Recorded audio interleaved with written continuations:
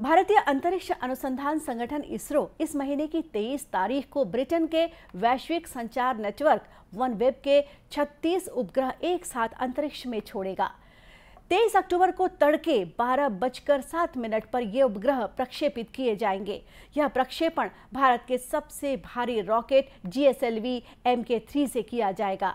इसे सार्वजनिक क्षेत्र की अंतरिक्ष company new space India Limited NSIL ने तैयार किया है। एनएसआईएल ने वन वेब के साथ दो प्रक्षेपण सेवा अनुबंधों पर हस्ताक्षर किए हैं।